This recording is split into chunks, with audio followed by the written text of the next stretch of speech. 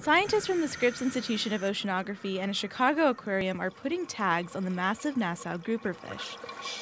These scientists are counting the number of fish in this aggregation or group. Ecologist Brice Semmens is with Scripps. While historically there were as many as maybe 100,000 individuals at the largest of these aggregations, in a contemporary context today, an aggregation of over a thousand fish is, is you know, one of the largest remaining aggregations. Nearly two decades ago, when the Cayman Islands government found a large population of fish, it decided to protect them with the Marine Protected Area, where no one can fish.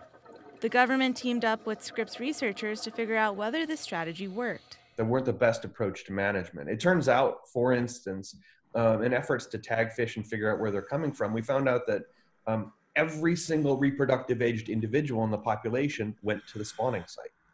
Those mating sites are outside these protected areas, so fishermen continue to fish there.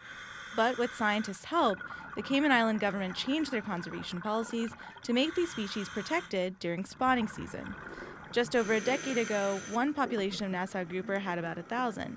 Now it has over 7,000. For the species of Nassau grouper, nobody's ever demonstrated recovering the population following overfishing. But once these locations have been fished out, once these spawning sites have been fished out, Nobody's ever seen them recover before.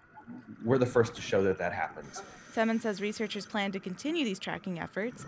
He also says the success shows how science can effectively shape government policies. Shalina Chatlani, KPBS News.